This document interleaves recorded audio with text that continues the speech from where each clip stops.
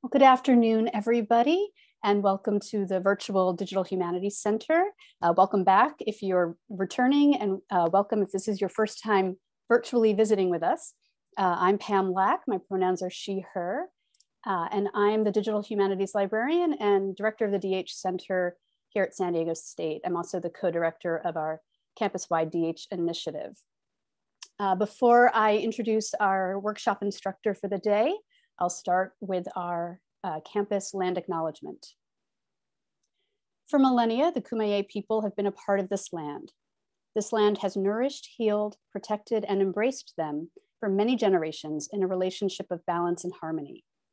As members of the San Diego State community, we acknowledge this legacy. We promote this balance and harmony. We find inspiration from this land, the land of the Kumeyaay. And I've put into chat more info about our land acknowledgement. Um, and if you are joining us from a place outside of San Diego, feel free to let us know whose land you are uh, joining us from. And um, I will in a moment also paste several links into chat about the DH initiative, the DH Center, and the um, links to more of our virtual programming. We've got mm, uh, another workshop series scheduled for April that I'll be leading on digital pedagogy and lots of virtual book talks, including one this coming Monday called How Pac-Man Eats, which looks to be a really amazing uh, book talk. Um, if you've missed any of um, our previous events or if you can't make some of our events, um, just about everything's been recorded and you can find links to it um, in the link I'm about to paste into chat in just a moment. But with that, it's my uh, delight and pleasure to introduce our instructor for this week, um, who also was our instructor last week for our ethical uh, data uh, science workshop series. Uh, Brienne Hayes holds a BS in applied mathematics from San Diego State University and will be beginning their PhD in English in the fall. Um, we are just waiting to hear which institution they choose. They have worked as a data scientist for organizations, including the Port of San Diego and the Information Sciences Institute at USC. Their research focuses on the intersection of the digital with issues of gender and sexuality.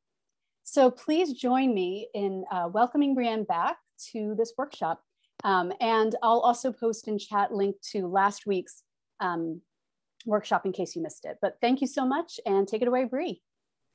Thank you so much, Pam. Hello, everyone. So yeah, my name is Brienne. I use they, them pronouns. Um, I'm very excited to be here today. Let me go ahead and just give me a moment to uh, share my presentation with you all, and we'll get started. Um, so yes, this is part two of ethical data science. Today we're going to be talking about using data. Last week we talked about different ways to get data, and we talked a lot about uh, critiquing and thinking critically and ethically about issues of data. Um, if you didn't see last week's uh, uh, session, like Pam said, it was recorded, so you can check out that recording. Uh, but we'll also be doing a little bit of review about some of the key concepts at the beginning here. So uh, you don't you the, the sessions were meant to be more or less independent. So don't worry if you uh, if this is your first time joining us. Uh, Pam has probably posted this in the chat already, but slides are available at this link. definitely recommend keeping this link handy somewhere because there are tons of links apart from this one, uh, in these slides to all sorts of resources, um, especially at the end, I have a long list of resources around uh, data science uh, that um, uh, is worth looking into. Uh, so definitely uh, keep this keep this link handy for future reference. So quick overview of what we're gonna be talking about today. So first I'm gonna be kind of reviewing some of the key conceptual topics from the first session, thinking about data and getting data, um, then we're going to our two main topics today are uh, two primary uses of data, which are machine learning, more or less making using data to make more data, and data visualization. Uh, how how are we arguing with data? How are we displaying our data? In both cases, we're going to talk about uh, some. We're going to talk about uh, conceptual and critical issues in both these areas, and then I'm going to walk you through some tools that let you will, will let you work with data yourself at the end, like I said, at the end, I have a long list of resources that you can check out. So this is the second part of two-part workshop. Like I already said, there's a recording there. Now let's move on to the review. Uh, so just a couple of key concepts uh, that I think are really important to thinking about doing data science. The most important one I would I would say is the idea of data as capta. Uh, this is an idea that uh, I got from uh, Johanna Drucker. Um, And the idea is that uh, when we think of data, we think about information is being given to us in a more or less complete objective form um, and sort of an independent form. Uh, when we think of data, when we can reconceptualize data as CAPTA, we instead switch it and think about information as received as something that we have taken. Um, and so CAPTA emphasizes the subjectivity of all data. It emphasizes our bias as observers, and it emphasizes the in, essential incompleteness of data. And this is a really important concept, so we don't get we don't get stuck in the trap of thinking that data is an always uh, perfectly uh, objective description of reality. A couple other key ideas: abstraction. Uh, we have to remember that data does not stand in for the subject, that whenever we, got, we collect data about a subject, you're necessarily abstracting away from them, and that abstraction might have detrimental effects to their representation. Categories, uh, we, the, the kind of categories that we have to think about when we're collecting data or when we're using data uh, are not fixed things, they're not static things. Um, these can be anything as wide as, especially we're talking about humans, so issues of obviously race and gender, as well as things that we might think as a little more static, like like geography and time. These categories are actually much more fluid than we tend to think of them, and when we kind of fix them in a, in a data set, we're treating we're we're removing a level of of uh, the complexity of reality that that um, is important for describing what's going on. So we have to be very careful when picking our categories. Uh, we have to always keep in mind that the categories we do pick, we do decide to focus on when doing data science are themselves an interpretation of reality. And reductionism, uh, as in how much context has to be lost to use data and is the trade-off worthwhile, as similar to abstraction. Uh, anytime we are gathering data about a subject, we are abstracting from the subject, similarly reducing the subject to a set of data points. People are not data points, people are much more complex than that no matter what organizations like uh, Google and Amazon uh, might want to be the case, uh, we can't reduce all people's behaviors and feelings down to a set of uh, machine readable information. And so we have to always keep in mind that there is this trade off uh, of, uh, of reducing people down when we're using data. And we always have to keep in mind is this a trade off that we want to make? And the biggest reminder I have for you is when you when using data science is consider the why before the how. As in if you're using data if you decide you want to use data science in a project think about why you think that a data-based approach is right for this project before you think about how to implement that. Data science is a powerful tool but it's not the only tool available. And because it's kind of a, a hot topic nowadays um, because of its economic relevance and because of the advances in, in the technology uh, people, we might want to jump to using data just because it's there we always have to we always have to critically examine our motivations before we do so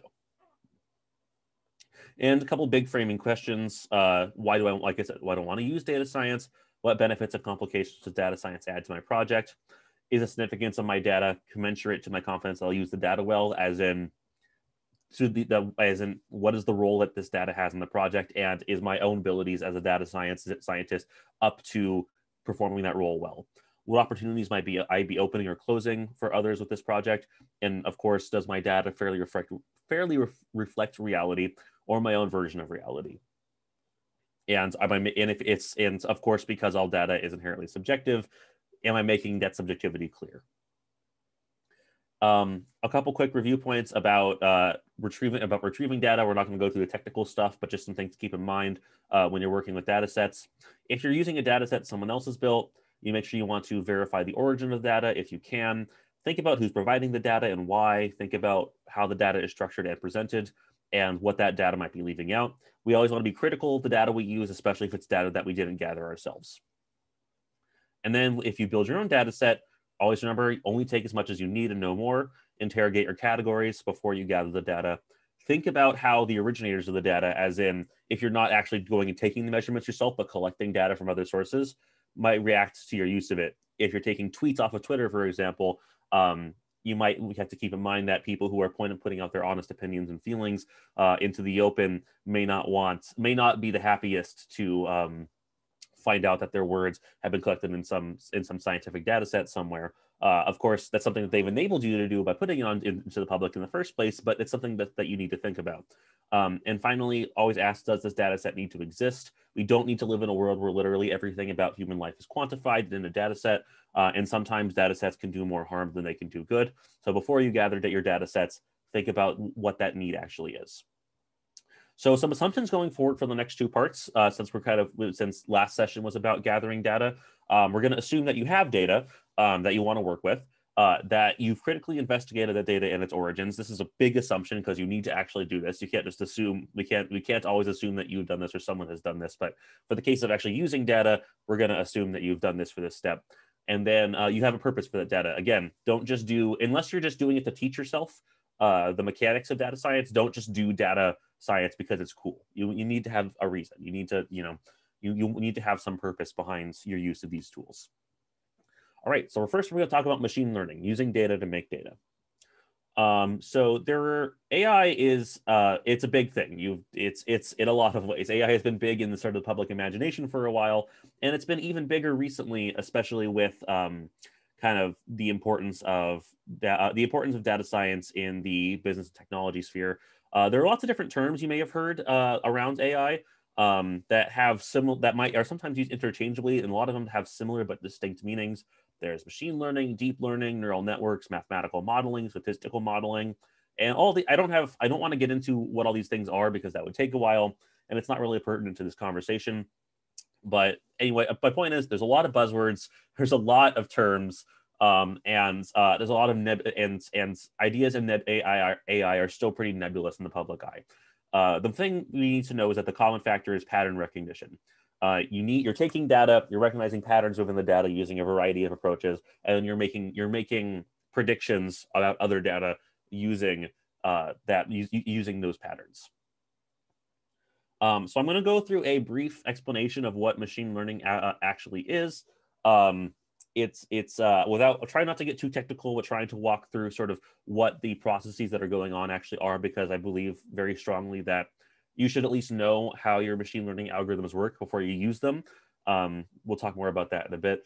Uh, but machine learning kind of boils down to computer algorithms that improve automatically through experience. Um, right there, there's a few kind of weird uh, phrases like what does automatically mean and what does experience mean? Uh, well, to an algorithm, experience means data.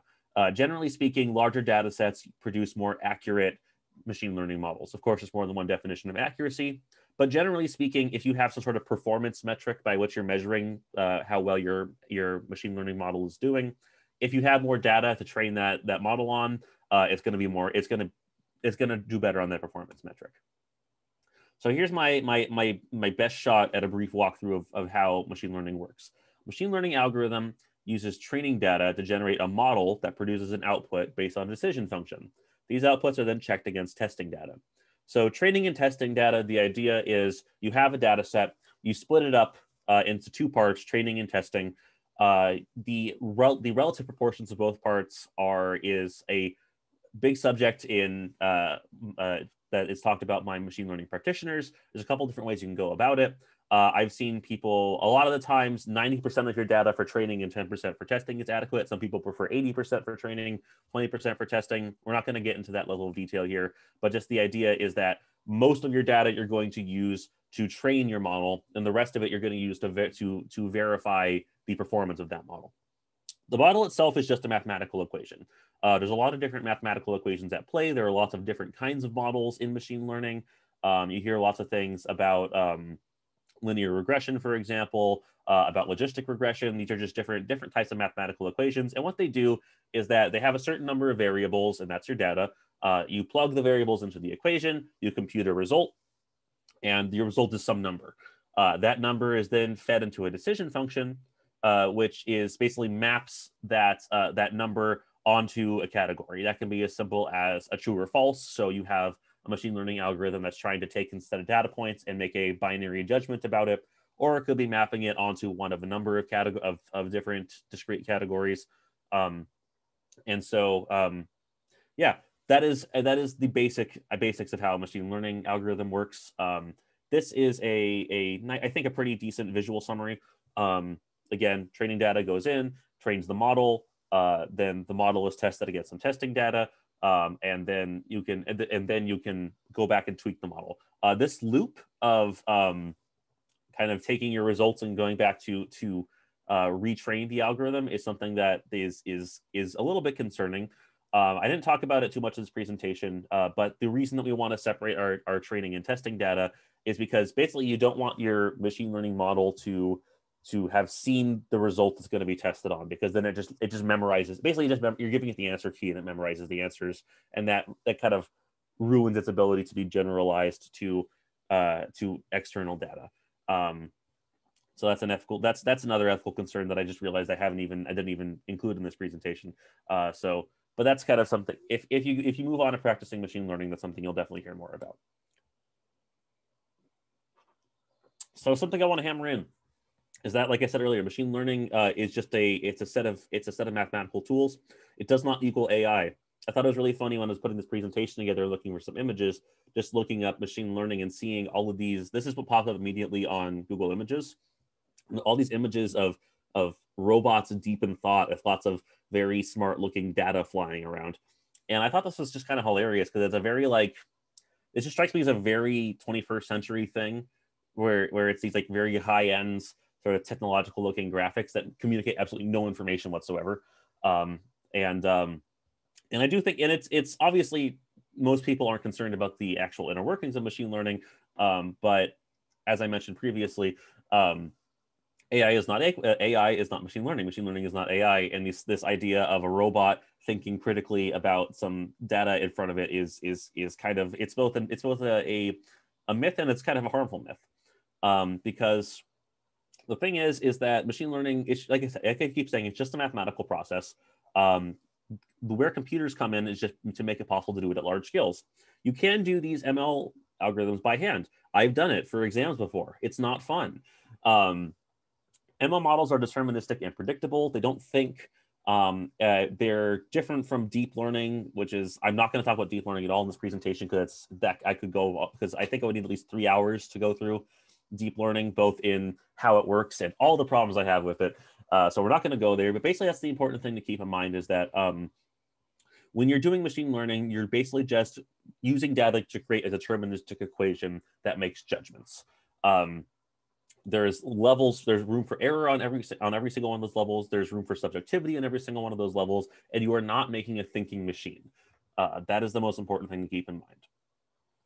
So if you did watch, happen to see the last, uh, my last, my previous presentation, you know, I talked a lot about these Venn diagrams of, uh, of data science. And I want to real quick revisit this one that I think is interesting. This is the original uh, sort of description of data science as the intersection of hacking skills, substantive expertise, and math and stats knowledge that was put out by Drew Conway in 2013. Uh, and a lot of people called attention to that danger zone I have circled there.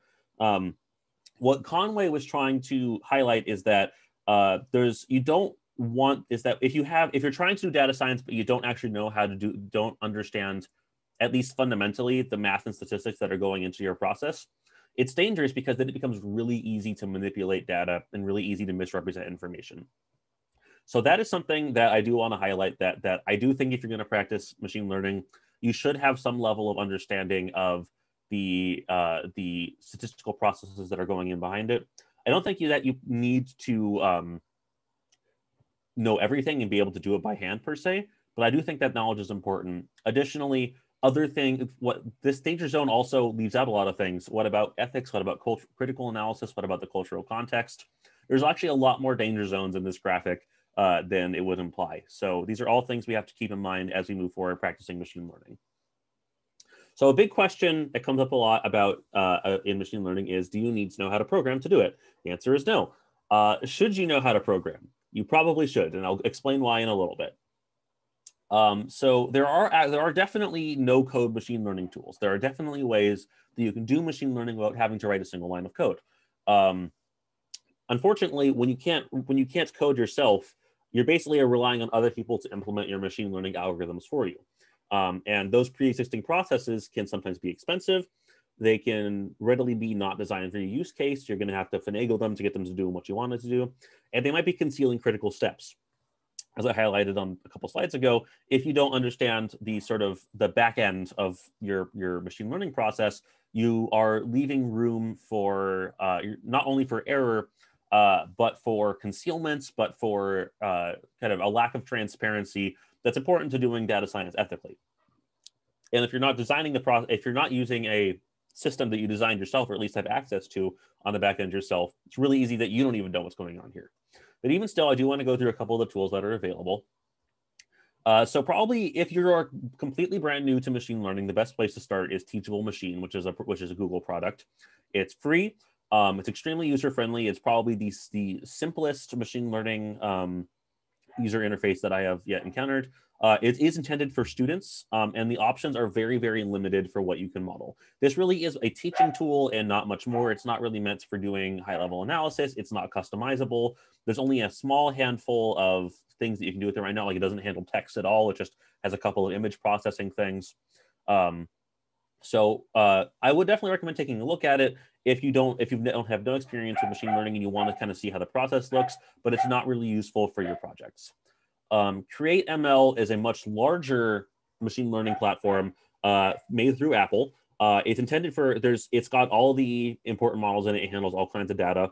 Um, it is intended for mobile developers, so it's not. So this is when it says when it says no code, it means people who don't know um, sort of the high level programming languages uh, that are often done in implementing these data science these these machine learning algorithms.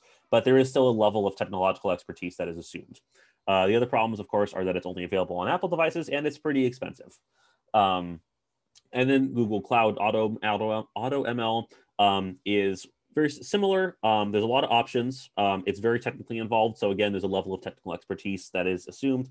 It's entirely cloud-based, which is a good and a bad thing. Um, we'll talk about which I'll explain why in a couple slides. And again, it's expensive.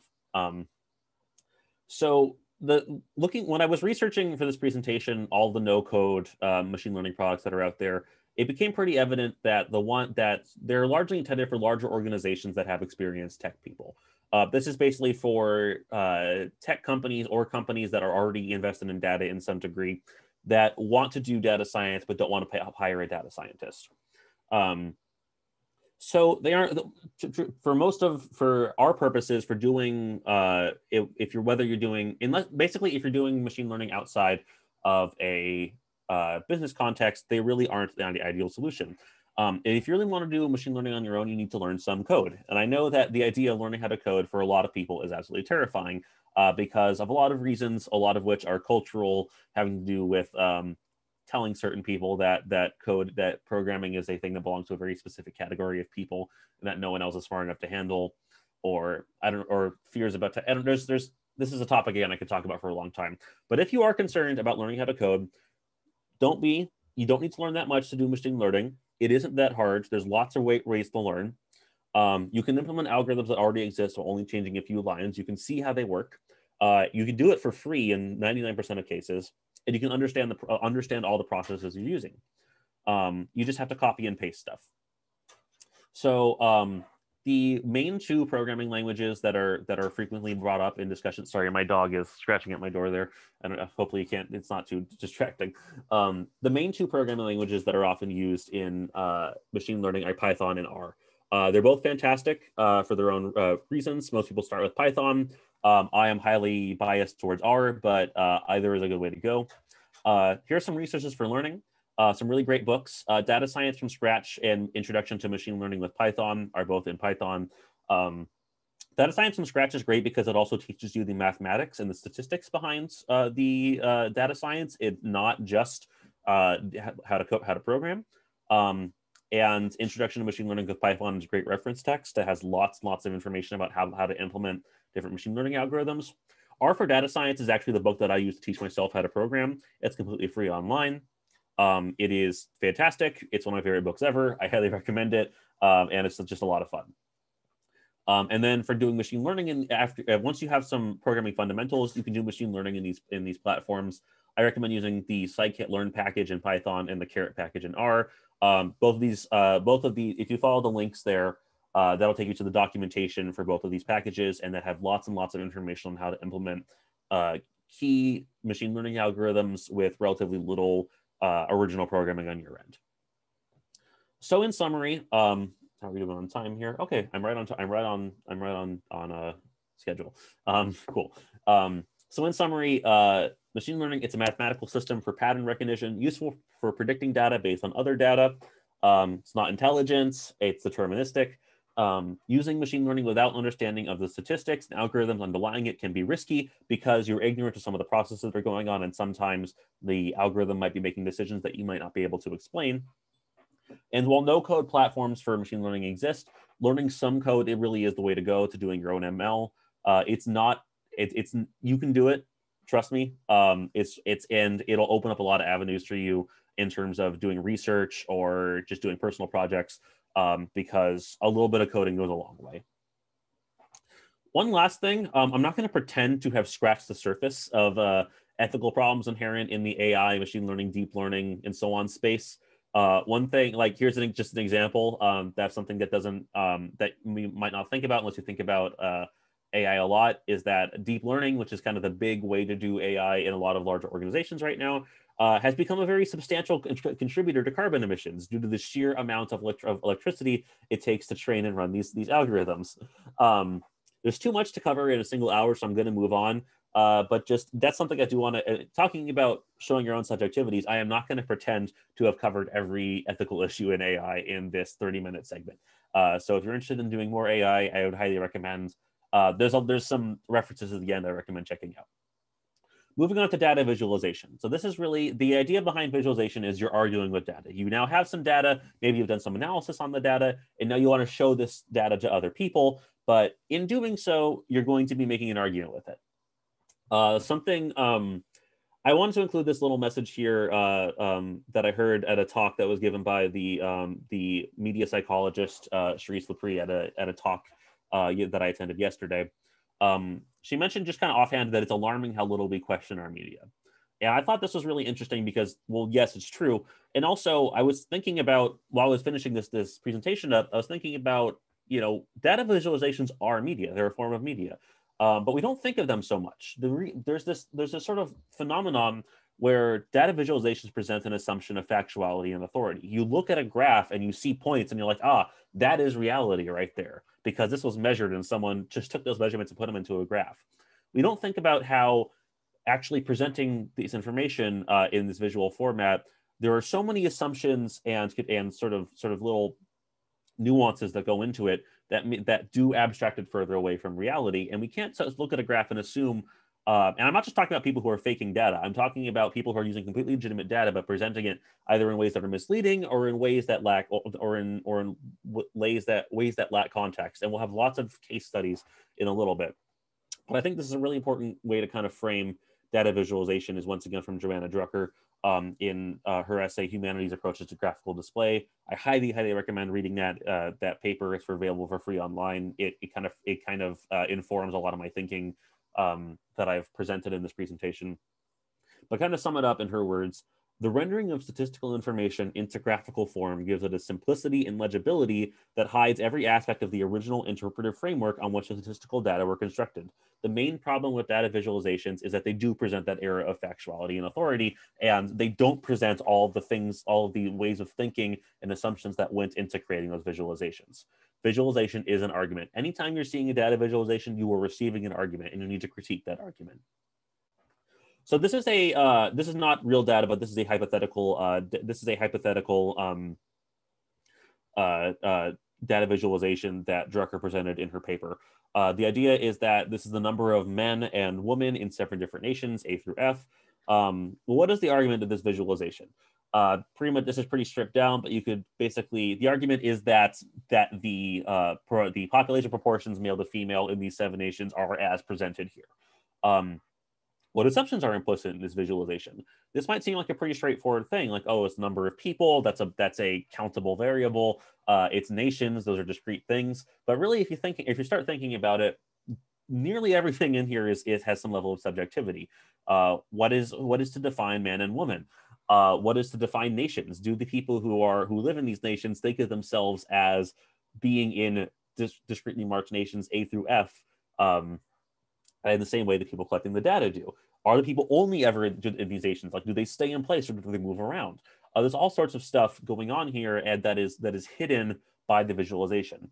Um, so Drucker it then includes that this really fascinating alternate um, visualization that sort of complicates the original. We can see a couple of you can sort of you can see a couple of um kind of interesting modifications uh, in the visual display. Uh, for example, if you look at uh, nation D, you see that the um, you see that the sort of the sort of the genders are mixed. Uh, that that there's not that there's a that there's a com there's a combination of male and female because you know maybe people in nation D have a different gender system. Uh, notice how dots are moving back and forth between B and C. That represents the the, the flow of men of, of men workers across the borders of nations B and C. Um, notice how uh, on an A uh, the sort of um, the the the male uh, bar sort of comes into existence as as it goes along. That's represent sort of changing conceptions of gender as people in this nation age. So there's lots of so uh, this is obviously just a hypothetical example, but I think this is really important to thinking about ways that we can do visualization better. Um, you know, thinking not just not just presenting information in a straightforward way that hides categories, but doing so in a creative way that reveals uh, the complications in the categories that we've picked. Um, and so now I want to move on to a couple of case studies. So first, we're going to talk about some re some really bad visualizations, then we're going to talk about some really good visualizations, and the key takeaways we can get from these. So I don't know if anyone in this in here is familiar with uh, the YouTube channel PragerU. They are a, an infamous uh, conservative uh, propaganda machine, essentially. Um, that it makes these these comically bad five minute videos arguing conservative talking points. And something that's really interesting about them is their use of data visualizations. This is one from a video they did about uh, about modernism, postmodernism, the decline of artistic standards since uh, the in the, over the last hundred years. And the argument, and, and every single one of these visualizations looking at has an argument. And the argument for this one is that the artistic standards have declined dramatically in the last hundred years. Um, here's the thing: this isn't actually a data visualization. There's no data here. Like how who is measuring artistic standards? How like have they really been doing it for the last 200 years in a systematic way? Like what like what metric is, this is this is this is nonsense. Like this is literally not data. This is just someone drew a line drew some lines on uh you know on a digital piece of paper and presented it like this.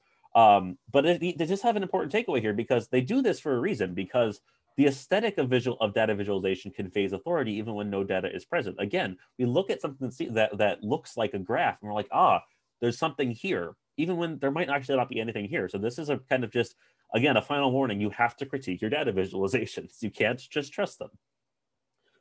Um, this is a really interesting example from uh, I got from a video on climate change denialism made by a man named Harry Brewis uh, on YouTube. Um, he does a lot of really fantastic, uh, fantastic video essays. I recommend checking him out if you like stuff that is both, if you like uh, sort of debunkings of conservative arguments um, that are funny. Um, and so this is a, uh, a graph that was taken from a um, NASA study on the change of Greenland, the mass of Greenland's ice sheet. Um, what's the argument of this visualization? Well, it looks well. It's it's kind of stated explicitly there, but even if you just if you without um, without the words, you can kind of tell uh, that the argument is that Greenland's ice sheet has lost almost 300 billion tons of mass per year on average. Um, my issue is not with this uh, visualization on its own. This visualization is is is okay, um, but this is but I think this is a really interesting example because we move on. Uh, this visualization was used in an argument um, on the conservative website uh, um, Louder with Crowder in an argument by someone named Courtney Kirchhoff uh, to say that uh, to basically argue against climate change by saying that uh, glaciers are growing again. If you go back to the visualization, we notice how it's not a strict decline, but sort of there's a seasonal element to the change of Greenland's ice sheets. Um, you know, obviously during one part of the during the warm part of the year they melt. During the cold part of the year, they re, they reaccumulate some of their mass, but overall there's a loss. But what happened in this and I don't, what happened in this article is that they zoomed in on that little peak at the very bottom there and like oh look the ice sheet is growing. So the, the takeaway here is that scale matters. Um, you can very easily take a perfectly reasonable visualization zoom in on a really specific part or zoom out on a really specific on, on just look at the whole thing and you can completely change change the argument behind the visualization. Um, scale does matter. You have to make sure make sure your scale is when you're making visualizations, you have to make sure that your scale is very clear. And if there are sort of those finer resolution variations, you have to make sure there's some explanation for them. Uh, this is one I think was real. This is a recent example I thought was really fascinating. Uh, this is something I encountered on Twitter. Um, and so uh, this is data about a, an anime uh, that was taken from MyAnimeList, which I think is a anime ranking website. Uh, I haven't used it, which is which is as you'll see is part of the problem. Um, I thought this was a really fascinating graph because uh, what is the argument here? Um, well, um, the statistically the argument is that the uh, the um, the average rating of this anime on MyAnimeList declined about 0.5 points about one month since the premiere of the second season. But if we look, the graph makes it look like a pretty dramatic fall. Um, but as we look at the scale, it's again, it's it's it's between eight and 8.5. And so I was like, this graph is really overstating that 0.5 difference, isn't it? I was wrong in an interesting way because a lot of people pointed out, uh, as a lot of people pointed out to me, that small change actually is very significant on this website. Um, because a um, that like just a 0.33 drop took the show from ranked 160 amongst all anime down to rank 524 and it's still dropping. So apparently this is a significant decline. Um, however i have no way of knowing that from this from this visualization uh, the thing that is this visualization again is fine on its own, but it's actually the point that that's, that the person who made it is trying to make is completely concealed to anyone who doesn't have the, the requisite background information. Um, so the takeaway here is that you need to leave room for context in your visualizations. You can't just assume people who are going to be seeing your visualization will have the background information necessary to put together to put together your argument. Um, I think a much better visualization in this case would have been a what exactly what the person on, on top there said. Um, a visualization showing the decline in the show's rank over that same period of time rather than just looking at the raw scores. Because that has a lot more of a um, excuse me, been talking a lot. That has a much more um, intuitive understanding than just showing a decline in raw numbers that is meaningless to someone who isn't familiar with the service. Um, now, a couple of really good case, a couple of really good data visualizations.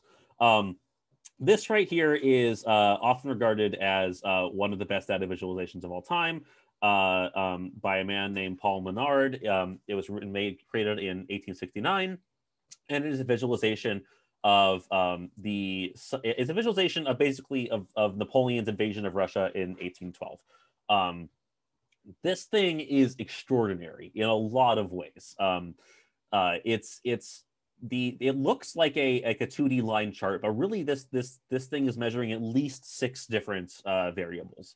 Um, you have elements of geography, you have the temperature, the relevant temperatures, uh, you have the names of major battles and locations, um, and you have sort of really this thing is charting the entire movement um, of Napoleon's forces in a really innovative way that that conveys a really strong message. Uh, with the um, with the brown, uh, the the kind of brownish lines representing uh, Napoleon's forces moving into Russia, and the black lines representing Napoleon's forces moving out of Russia. Um, what this are what this visualization is conveying is the dramatic failure of Napoleon's invasion. Um, and even if you don't speak French, I think it's pretty easy to to see to, to the the uh, sort of the scope of that failure is evident from just from the visualization. Um, my takeaway here when i say data visualization is an art i mean a lot more than just it has to, it's pretty. Obviously i think this i think that this visualization is striking. I want a full size print of this on my wall. Um, but i do mean I, what i'm trying to communicate is that a lot of the programs we're going to be talking about today to make data visualizations are in here are of course programmatic. They do visualization in a very limited specific way.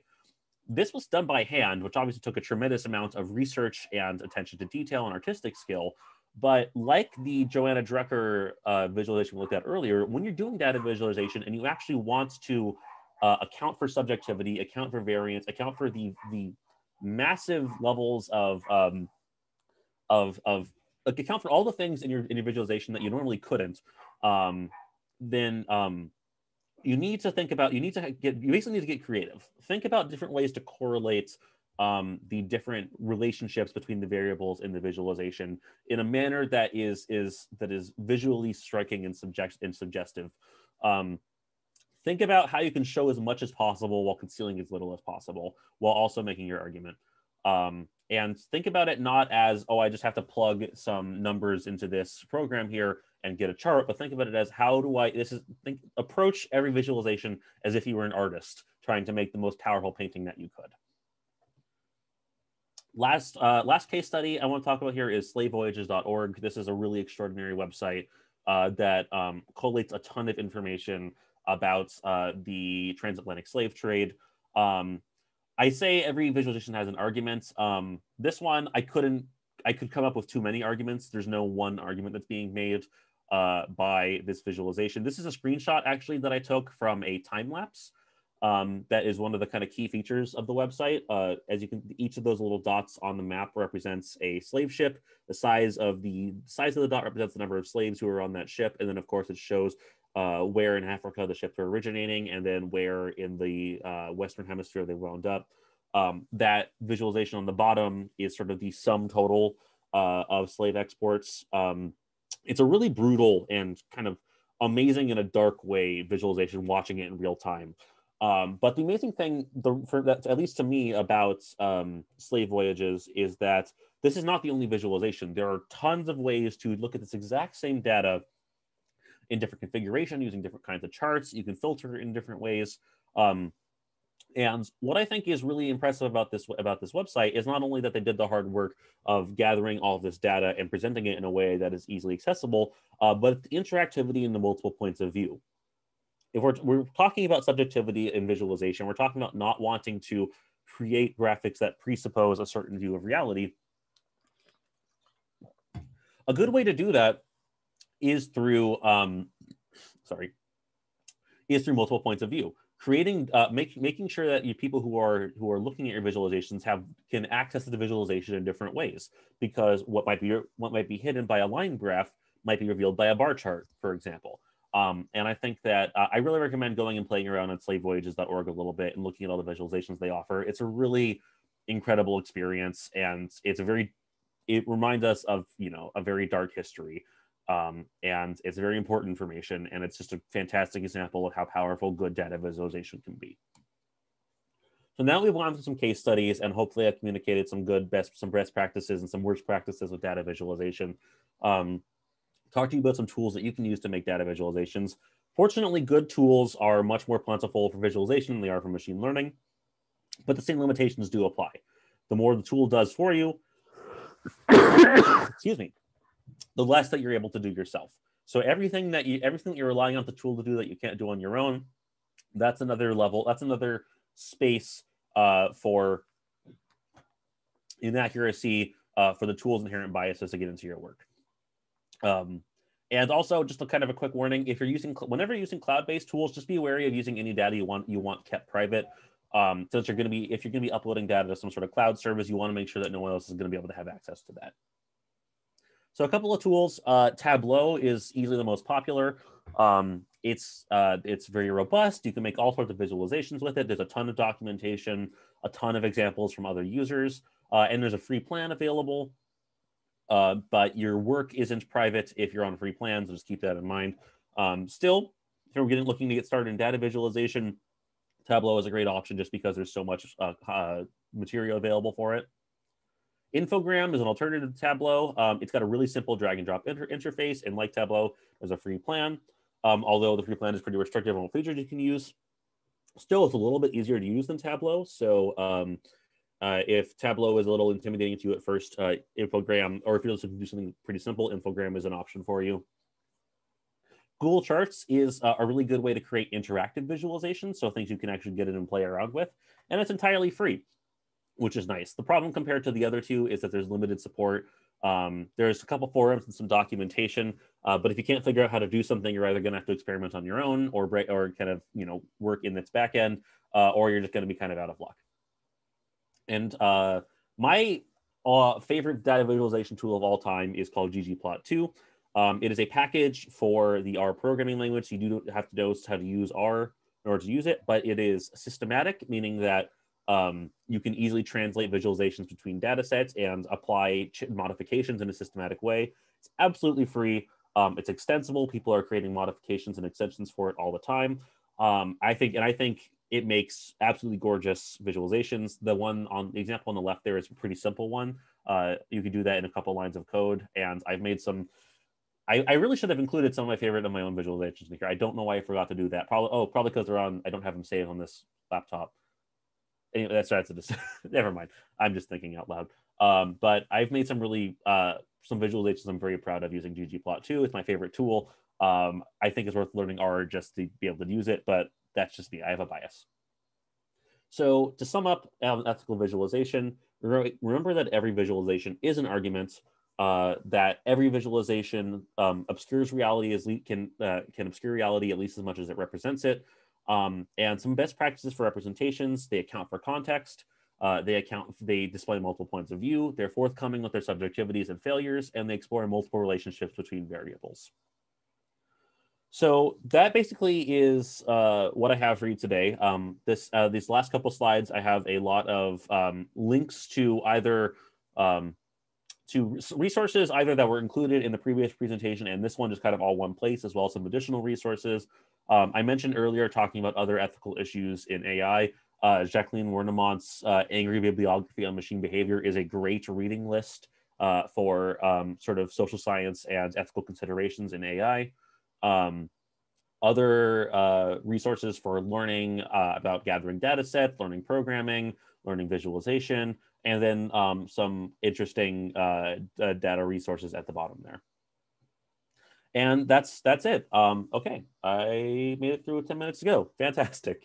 Uh, thank you all so much for listening. Um, I saw throughout the presentation that there's a lot going on in the chat, so I'm sure uh, we'll catch up on that. Um, if you have any questions, I'm happy to take them now and please keep in touch. I'm on Twitter. I have a website, uh, and everything is linked in the uh, in the presentation. So thank you very much. Thank you, Brienne. That was wonderful. Yeah, the um, the chat was quite active. Um, I was putting in a lot of uh, links and sort of reflecting on a lot of the things that you were saying. Um, there's been comments and commentary in the chat, but as of yet, I'm not seeing um, I don't think I've seen any questions come in, and I don't know if yeah. anyone is um, uh, in the middle of typing a question right now, or if um, anyone wants to raise their hand and unmute themselves and ask a question that way. Uh, just keeping in mind that um, if you do that, you'll be part of the recording. Yeah. Um, but that was just really, um, it was really fantastic, and I loved how you started with some of the um, the problematic visualizations when you got to mm-hmm. that the second half of the of the session um, i we were talking just before this workshop started i took a information visualization class in library school and that's how we actually learned visual how to do visualizations was we would start by work looking at bad ones mm-hmm. uh, well we'd look at bad and good each week we'd sort of nominate them and talk about what makes them bad and good and, and the problems that you um, pointed out of scale context um, were some of the biggest problems we would see. We'd see things where people wouldn't use consistent colors. if, if, you have like a visualization dashboard, they wouldn't use consistent colors um, for similar variables across many um, many graphs or have um, irregular or inconsistent y scales things mm-hmm. like that yeah i um, think that that all the visualizations i showed were were at least competently made which is which is sort of which is uh a, a entirely different um, category from just bad visualizations that are are just poorly that are just weirdly put together. Um, and um, so it's just yeah but I, I do agree like i critiquing visualization is a pastime for me i think it's one of the most fun things out there. I love finding uh, bad graphs and making fun of them and figuring out what they're doing wrong uh, but it is also very enlightening about how people can misrepresent information and how uh, just the problem again the sort of inherent flaws of data visualization. So yeah, I, I... and sometimes those things are done accidentally, mm-hmm. and sometimes they're done purposefully, um, and we don't always know. Um, whether it's an intentional or an unintentional mistake, but um, the more um, skilled we are in reading the visualizations mm-hmm. and figuring out what the argument is, what the motivation behind it is, um, what the context is, um, the, the better we're able to then assess them. And that's the first step to making better visualizations ourselves. And of course, to even asking, is this appropriate as a visualization? Should I even do it? Mm-hmm. Um, because not all things need to or should be visualized. Um, and in fact, I was really struck by your using slave or, slavevoyages.org, which I actually use in a lot of my intro to DH uh, workshops to talk about critical digital humanities and the problematics of visualization mm. and the, the problems of recreating some of the power structures that um, led to and uh, led to race-based slavery and structural racism in this in, in the Americas. That is to say, the boiling down a person or a series of people into a dot on a map mm-hmm. um, and sort of dehumanizing them. And so the visualization can be both very powerful and convey a really important argument and also be problematic at the same time. Yeah. Yeah, definitely. I, it's it is it's it's like I like I mentioned in the in the presentation with slave voyages. There's just so much there that I think it's it. There's there's so much to talk about with it. Yeah. Um, and it's it's it it does a phenomenal job of conveying the scale which is I think of of the uh, transatlantic slave trade, which I think is something that's easy to to not think about, um, especially in the United States, where we try to think about slavery as little as possible. Um, unfortunately, um, but it really is kind of overwhelming when you see all the dots. But yeah, at the same time, what is you know what exactly is is are those dots telling us about slavery or about the people who are the victims of slavery? Well, and, and thinking about what a yeah. dot represents in that mm-hmm. visualization, mm-hmm. which, as I recall, it's not a human; it's a ship full of mm-hmm. humans. Mm-hmm and that's what is the choice in making that the scale rather than individual people as dots mm-hmm. and how do they visualize the loss of lives in the middle passage so the dots don't change in size as they cross the atlantic for instance mm-hmm. so there's all sorts of things that um, we could we could take that visualization and work with it and do other things with it and convey it in other ways mm-hmm. um, and so these are important questions to be asking when we approach a visualization um, Yes. And sometimes we don't know the answers, right? Sometimes, and and that's the whole point. And a lot of humanists talk about like making your decisions transparent, mm-hmm. explaining what what data are missing, what are you know if you're using existing data, what are the uh, assumptions behind the data that were collected or that you're using, anything like that. Um, I'm monopolizing the Q and A session. So is, does anybody else have comments or questions for Brienne? We have a few minutes left. Um, but um, I, I, could keep going on and on. And Brienne and I've had many conversations over the years about just these sorts of things. And mm-hmm. um, but I don't want to take up all of the the space here. Should put person who spends too much time thinking about graphs on my business card. yeah. Um, if you do, uh, if you don't have any questions now, um, my email and my contact info are linked uh, in the presentation um, please reach out at any time. I'd be happy to kind of hear out uh, any questions or concerns you have. Um, and um, you can keep up with the kind of uh, digital humanities work that I do. And again, just make sure you grab those uh, slides so you can have access to all those resources I linked uh, if you are interested in pursuing any of this stuff further. And I'll be sending out a follow-up email to everybody with the links to the slides and the recordings for both last week and this week once um, the recording for this week is up on our, our DH YouTube channel. Um, and then I've put a link in chat to a feedback form if you want to let us know um, how this workshop went uh, or recommend uh, future topics for workshops in the future, um, uh, particularly virtual workshops. Um, as I said, we'll be having two digital pedagogy workshops in April for folks who teach in this space. Um, it's a way to sort of think about things you could be doing in next year. So not intended to be implemented this semester, which is already well underway. Um, but please do take a few minutes to let us know how we did. Um, and we still have time for a few questions if anyone has any um, uh, that you want to either put in chat or um, unmute yourself and just ask, ask for yourself. Uh, and if not, we can just end a few minutes. Oh, I can stop the recording and we can, mm -hmm. we can continue chatting as well. So I'll just give it another 10 or 15 seconds in case anybody's typing. And once again, thank you all for for attending and uh, for being a fantastic audience. I really appreciate it. Sorry, my voice started giving out towards the end. There was a lot of a lot of talking.